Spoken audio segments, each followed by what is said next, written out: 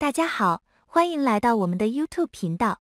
今天的主题是法医 DNA 分析，这是一个令人兴奋且必不可少的法医学领域。在本视频中，我们将讨论法医 DNA 分析是什么，它是如何工作的，以及它在破案中的重要性。什么是法医 DNA 分析？法医 DNA 分析也称为 DNA 分析。是一种通过分析个体独特的 DNA 图谱来识别个体的科学技术。DNA 分析彻底改变了法医学领域，并有助于解决刑事调查中一些最具挑战性的案件。它是如何工作的？法医 DNA 分析涉及将从犯罪现场采集的 DNA 样本与从嫌疑人或受害者采集的 DNA 样本进行比较。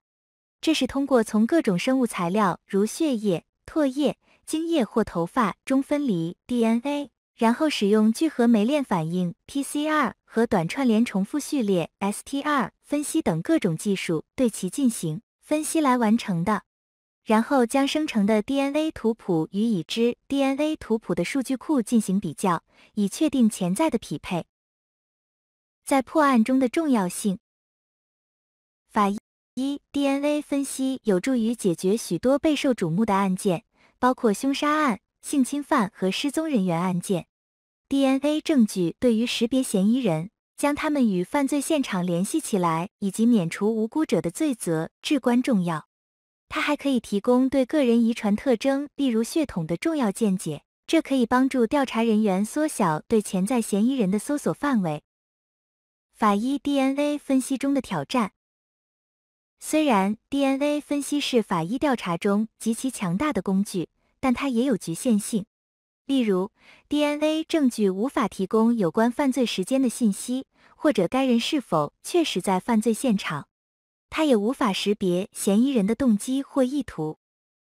围绕 DNA 数据库的争议，DNA 数据库在许多国家变得越来越普遍，它们可以成为执法的有力工具。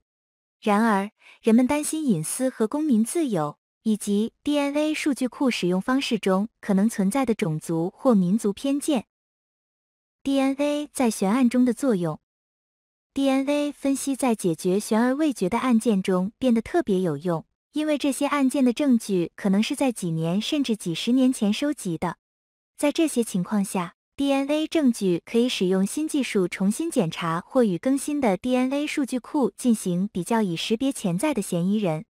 其他领域的 DNA 分析，虽然 DNA 分析主要用于法医调查，但它也用于其他领域，例如亲子鉴定、家谱和医学研究。DNA 分析的这些应用基于与法医 DNA 分析相同的原则，但具有不同的目标和要求。DNA 分析的未来发展，随着技术的不断进步，DNA 分析可能会变得更加强大和准确。例如，新的测序技术可以更快、更详细的分析 DNA 样本。然而，这些发展也提出了需要解决的新的伦理和法律问题。